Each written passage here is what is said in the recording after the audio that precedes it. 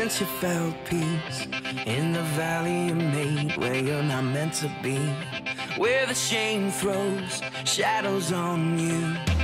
But don't you forget that you're headed to more, but you settle for less. Don't buy the lie, it's as good as it gets.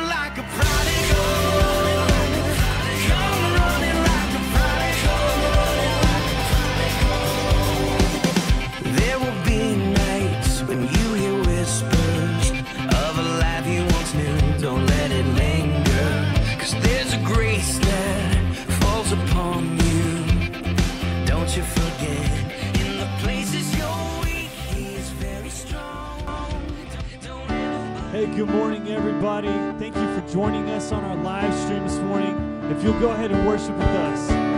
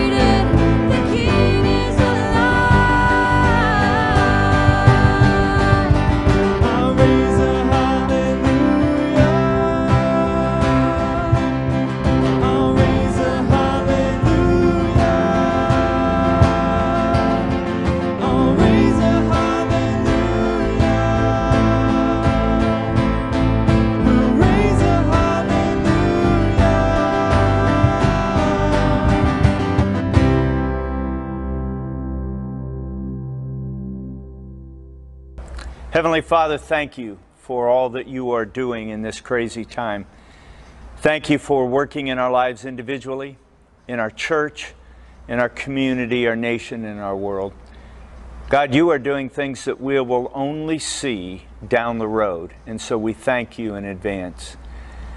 God, we're praying that you would help us to be the people of God that you want us to be in this time.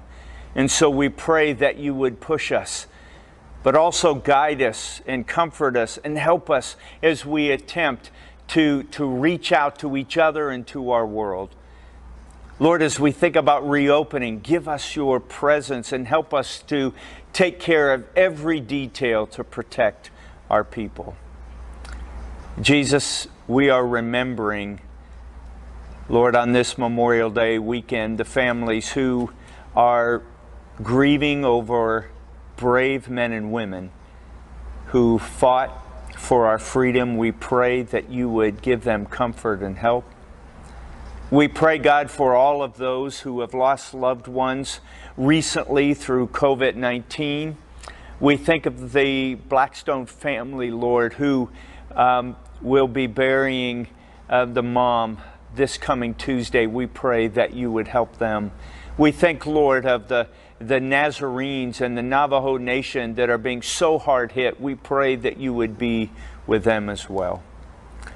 God, on this Memorial Day weekend, we remember those, Lord, that it are in our church family who have passed away this past year. And so we pray, God, that as we list these names, that, that people, wherever they're at, would join us praying a prayer of comfort and guidance. And so we pray for the Bernabo family. We pray for the Burnetts and the Glass family and the Garabedians. We pray for the Kuntz family and the Martino family and the Nichols family. And we pray for the Phillips family and the Sheltons and the Simmons and the Stryers and the Zarfus. Lord, each one of them and the extended family, touch them, we pray. And God, we pray for our leaders as they struggle with how to open up, how to protect people, what to do and what not to do. Lord, there is so much uh, information on all kinds of sides. We pray that you would just bring unity. We pray that our leaders would work together, Lord, for the good of our nation and that the world leaders would work together. We pray for the scientific community as they work their heads off to try to get a vaccine. Would you be with them and help them? We pray for the medical professionals, Lord, on the front lines of treating people. We pray that you would be with them and protect them and watch over them. We pray for first responders. God, would you watch over them and help them? We pray for all of those people on the front lines, whether they're delivering our packages or packing our groceries. We pray that you would watch over them as well. Jesus, there's so many people to pray for. We ask that you would help each one of them. Jesus, we pray that in this sermon that you would take the words of truth and apply them to all of our lives and build our faith, but especially to those who need them most, including me. I pray that you would help us to get this principle. And for all of this, we'll thank you and praise you in Jesus' name. Amen. I want to share with you a couple announcements before I preach today. And uh, as you know, we've been trying to advertise it. June 7th, we will reopen. And uh, we are trying to take every precaution. We're trying to follow all of our state and local recommendations and guidelines. Uh, this past week, I've been in two Zoom meetings with medical officials. So we are trying the very best we can. The chances are that you're going to like everything that happens is not very good. You'll wish for the old days and went before COVID 19, but this is the reality. So have a lot of grace and come if you feel comfortable. We are encouraging people who are at high risk to stay home. We are encouraging people who have been exposed, obviously, to stay home, those with fevers, those with sickness. If you're nervous about this, stay home and worship online because we're going to continue to offer online worship. And so, so it will be the 7th at 10 o'clock, social distancing, every other pew, uh, families uh, sitting together, others social distancing. Uh, we will provide masks. Bring your mask. We'll provide it. We'll have plenty of hand sanitizer. Every one of the restrictions and recommendations we're trying our best to wear and or to abide by. And so help us in all of that. The second is thank you for giving so faithfully. God is helping us. God's actually helping us to move forward in this time. And so I encourage you to go to northsidenaz.com, hit the giving button, and give your tithes and offerings there. There are several ways that you can do that, or you can send them in, you, know, you can bring them by the church, uh, you can call Shirley Yates, and she'll come by and, and get them for you. And so thank you, and continue to give. God is helping us. Well, let me change gears. And I want to talk to all of us, primarily myself, about a principle that is very important in this time of uncertainty, this time of nervousness, and that is the Sabbath principle. Learning to rest in all of this craziness is an important lesson that we can all learn, and we must. Listen to Psalm 19. God's laws are perfect. They protect us. They make us wise and give us joy and light. God's laws are pure and eternal and just. They are more desirable than gold. We keep God's laws, and when we do, we find God's guidance, His blessing, and His protection. When we don't keep God's laws, we don't have the benefit of God's guidance, His protection, and His blessing. And that's the opposite of what Satan will tell you. Satan will say to you, and he says to me, if you do it God's way, life will be boring. If you do it God's way, you won't be happy. There won't be the adventure. And that's the exact opposite of the truth. God's laws bring His blessing and His safety and His joy into our lives. And so do it God's way. The Ten Commandments are there to make our life easier, safer, and blessed. So let's look at the fourth commandment remember the Sabbath and keep it holy. Or another way of saying it, don't forget to honor the Sabbath day. Make it a special day for rest and honoring God. I want us to think of this as a principle that will benefit our lives if we will follow it. For some people listening today, coronavirus and the shutdown has been a blessing. You've been rested, you haven't you haven't been stressed out, and, I've heard of some of them and I know some of them that this has been a, a peaceful vacation like time. But for others of us, it has been a nonstop, stress-filled push forward, try to figure it out, and I put myself and many others in that that very place. It has just been crazy. And so I am preaching this sermon to myself and others just like me who find themselves working constantly trying to figure out how to lead in this crazy time. You know, if the malls were open and we went with a microphone and we begin to ask people, which of the Ten Commandments do you think is most important? The truth is, there'd be a lot of people who wouldn't know what the ten are. But if they did, most likely they would say that the most important commandment is, Thou shalt not kill. That's the one everybody remembers. They would say that most likely is the most important. There's a good chance that very few, if any, would even remember that there is a commandment to keep the Sabbath day holy and they certainly wouldn't make it the most important.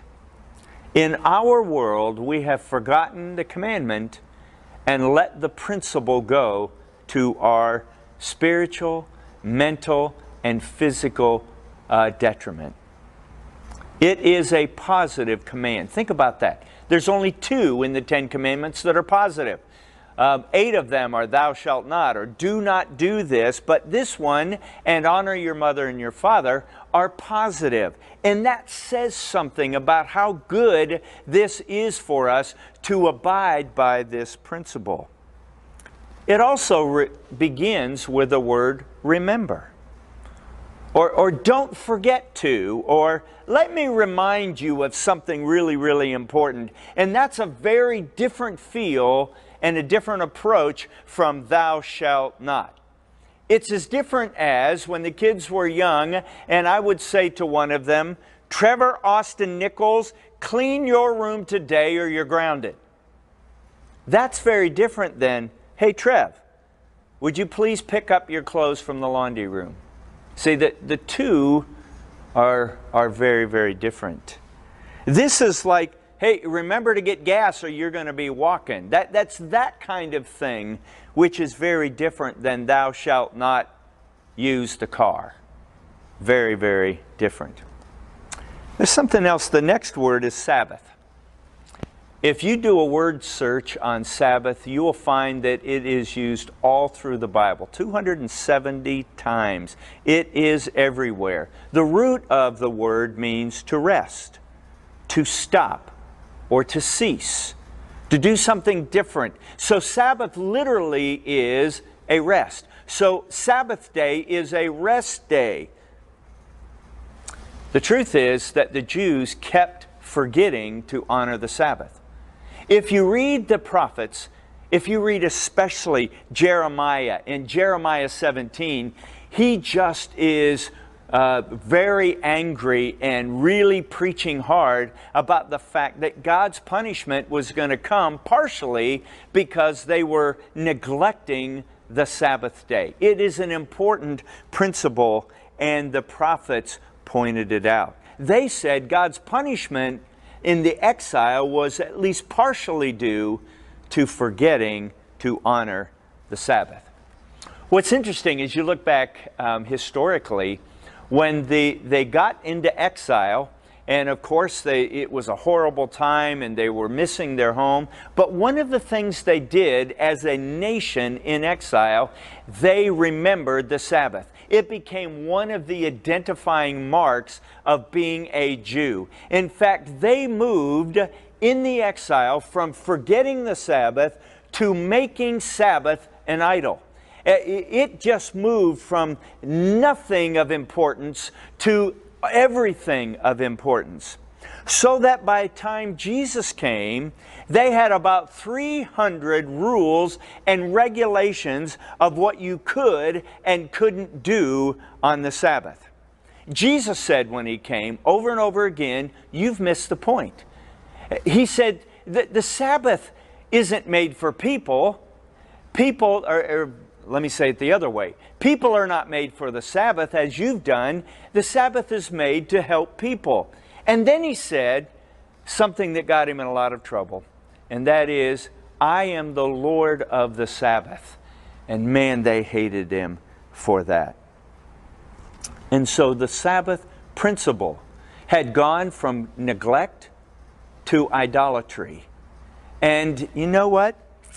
Some of the time, in, in the past of many of us, there's been a little of harshness and uh, treating the Sabbath as a thou shalt not instead of a remember to. I, I grew up in that kind of environment. I grew up in a home and in a, a spiritual culture that we weren't allowed to do very many things. I wasn't allowed to play organized sports. Uh, we, we weren't allowed to go out to eat on Sunday. Uh, there was all kinds of restrictions on what kind of play we could do. Uh, we didn't get a paper on Sunday. We didn't get gas on Sunday. And I just remember the restrictiveness of it. And so many of us have grown up in a culture much like, or at least partially like, the Jews who made it a thou shalt not instead of a remember the Sabbath and keep it holy. See, the Sabbath had gone from remember to all the way to thou shalt not walk more than 1,000 yards on the Sabbath. And if you've hit 1,000 yards, you've got to stand right there and wait till sundown on Saturday night. It was crazy what they had made the Sabbath. So some of you are asking, well, what was the intent? The intent for the Sabbath was renewal, rest, and renewal. The Sabbath is supposed to be a weekly renewal for our mind, our body, and our spirit. And the primary way in the Old Testament that they were to accomplish that was not to work. The commandment says no one in your household is allowed to do any work. Eh, Not the parents, not the kids, not the servants, not the animals. Work is forbidden. You need to rest. I want us to look at the word day in this commandment because it is significant too. Just like in English, the word day is primarily um, used as a 24 hour calendar day in the Hebrew language. But it's also used, like English, in the Hebrew as the period of the day that it is light. So day can mean the 24 hours or it can mean the 12 hours. But in Hebrew, it, it is more extensive than that. They can use the word day to be a period of time. A, a celebration can be a day. A day of celebration could actually be several days. It could be a period of time. It is a, a, a principle where we move away from the grind of everyday work, work, work, and rest and be restored and fellowship with God and with each other. Today, observant Jews honor the Sabbath from Friday night to Saturday night, just like they have for centuries. And there are some Christians who say we ought to um, honor the Sabbath, Saturday, and so they worship, go to church on Saturday, and that's fine. It, it really doesn't matter, as we'll see in a minute. And there's other Christians who suggest that they are literalists, but what they do is they take all of the thou shalt nots from the Saturday, the Sabbath, and apply them to Sunday and call themselves literalists, which is fairly uh, interesting since they've changed the day that this was to happen. The truth is, if you study the New Testament, it doesn't matter if you worship on Sunday or Saturday or another day, as Paul explains in Romans chapter 14. The trouble with being a literalist is that you must be selective about what things you're going to be literal about.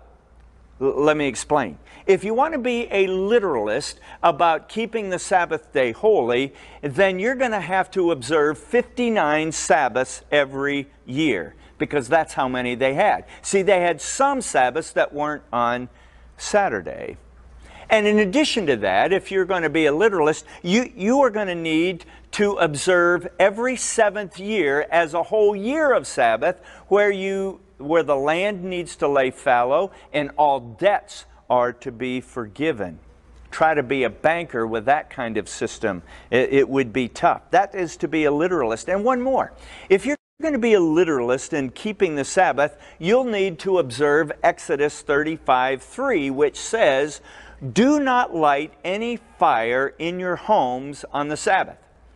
Now, if you are living in the warm climate like Texas, most of the time, it's not that big of a deal. But if you happen to live in Alaska, in Canada, or Mongolia, you are not going to like being a literalist because you're going to freeze to death if you try to observe the Sabbath. So here's what happened Uh, they had the Sabbath. It was Saturday. They were meticulous about it. Jesus came and he taught over and over again that I'm teaching a principle, not a rule. I, I want you to follow me, and if you follow me, you will, uh, you will adhere to everything required about the Sabbath.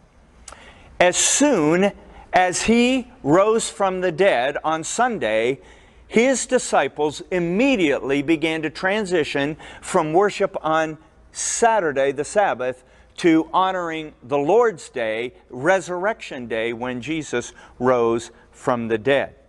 And so they immediately began to transfer their, their commitment as a worshiping group to Sunday.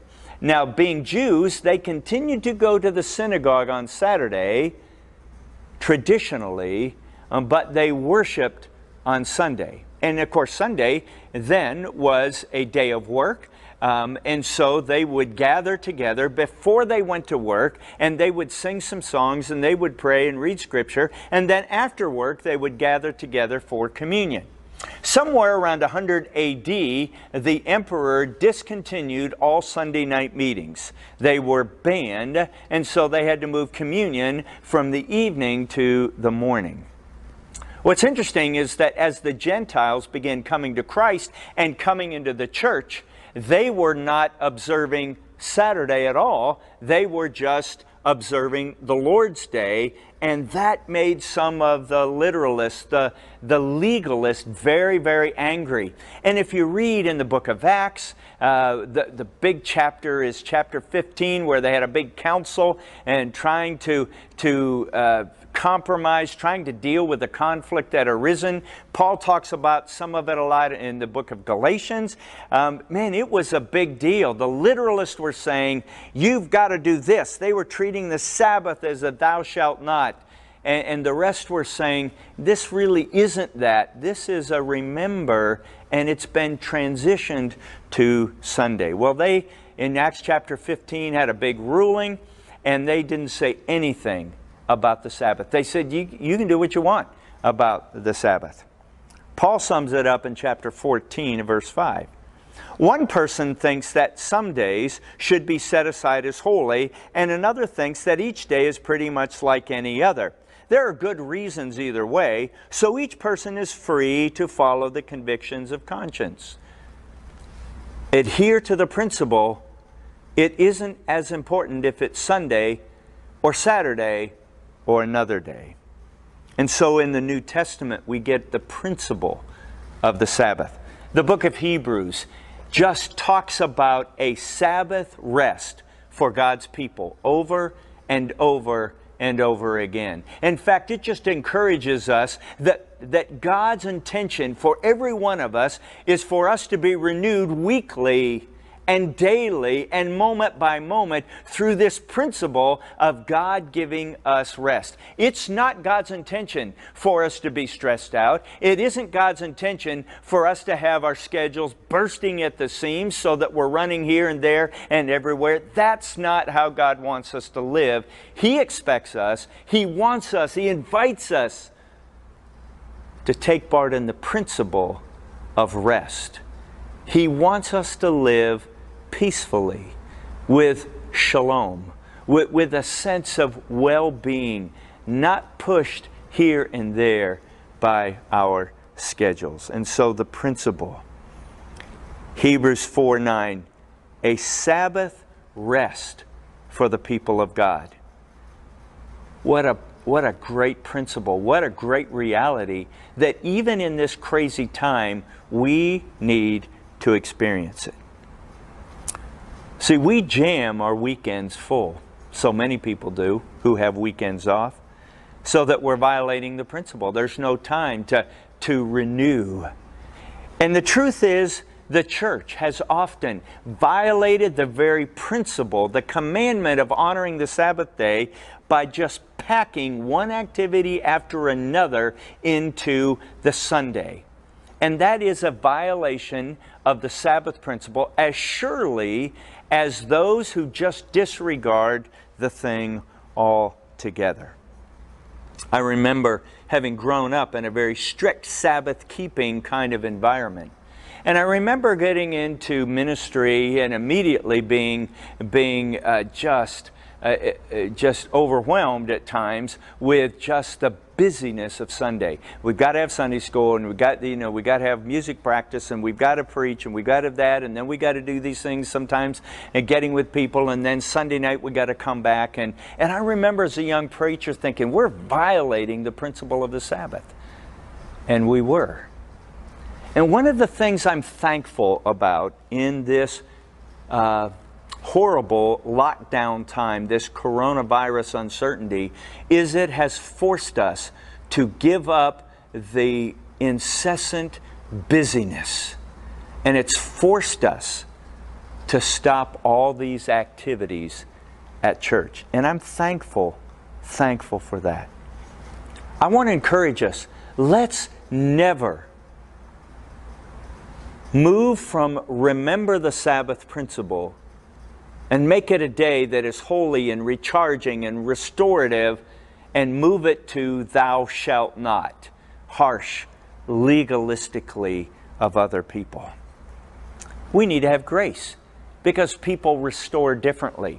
The truth is, all day long, uh, all day throughout the week, I am sitting at a computer. I'm sitting in meetings. I am sitting with people. I'm, you know, I'm just sitting all the time. So please don't insist that on Sunday or my day of rest I sit. I'm tired of sitting.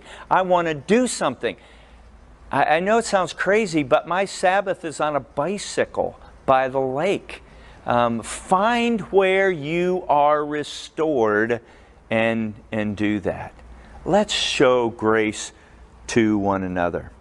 Let me ask you are you keeping the principle of the Sabbath? Are you being renewed? Or are you feeling just pushed, pushed, pushed?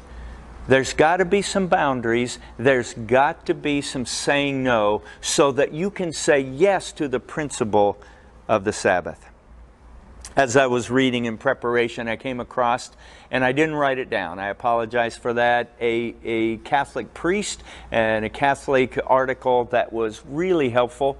And he talked about these different practical ways of honoring this principle.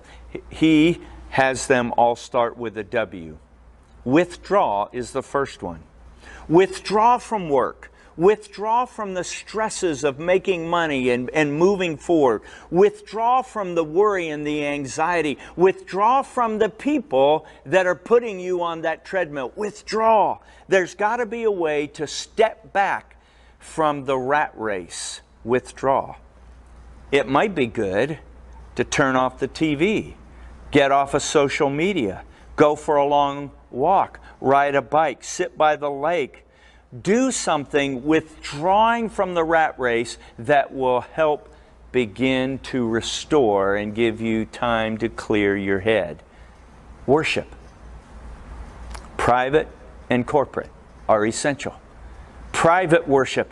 Man, you need to withdraw from the rat race and spend time with our Heavenly Father, reading the Word of God and talking to Him, and just sitting and enjoying His presence and, and allowing His Spirit to renew you. That's in private, but also in corporate worship. It is so essential. Obviously, those of us who lead worship, who do a ministry, have got to find another time because that's not very restorative um, on Sunday if that's when you are having worship. So, withdrawal in worship, and here's another one wonder. As you withdraw, as you worship, you create space in your mind and your heart and your spirit to just begin to wonder about the eternal things, the essential things, the big questions in life that just get pushed to the side in the rat race. We begin to discover what is it that God wants for our lives? How does He want to use our gifts in ministry? How does He want to work in this situation in our family? Begin to wonder, begin to consider what God is up to in your life and in our world. Withdraw, worship, wonder, and walk. Once again, it's good for you. Take a walk if you can. In the midst of worship, in the midst of withdrawing, in the midst of wondering, you will be amazed at the problems you can solve on a walk on a trail if you're in that setting of withdrawing and worshiping and allowing your mind to wonder about things. Invite your family to do it with you. Make it a family thing, or kayak, or bike, something that helps get you moving in the midst of the wonder. And then there's one more. And I like this because in our lives we must feed our spirit, but we also must engage other people. And so this last W is welcome. Welcome others into this Sabbath rest. Welcome them. And there's different ways you can do it. And don't make it the primary thing, the only thing you do. Make sure you're attending to your own spirit and your own renewal, but welcome someone else into that. Get a cup of coffee with them. Sit and worship or fellowship with them a bit. Once again, let me ask you are you keeping the principle? Not the thou shalt not. That's not what this is about. It is the principle. Remember the principle because it's good for you. It will restore you and renew you day by day, even in this tough time. Would you bow your heads with me? Heavenly Father, many of us are guilty of forgetting the Sabbath principle. And lately I have been guilty, and I pray that you would help me to do better. I pray for those who just have jam packed everything into their weekends and they just, their schedules are full and, and they're feeling the effects of, of not being rested, of not being renewed, of, of not experiencing your peace in their hearts and their lives. God, help them right now to make a commitment to remember the principle of the Sabbath and begin setting boundaries and make commitments to implement that in their lives, I pray. Jesus, you will provide joy and peace and rest, regardless of what our schedules look like in a month or two months. Regardless of what happens in our world, there can be rest and peace. And so make that a reality for every one of us, I pray, in Jesus' name. Amen. Thank you so much for listening. I want to remind you that uh, hang on because the band is going to help us with one of my favorite songs. Thank you.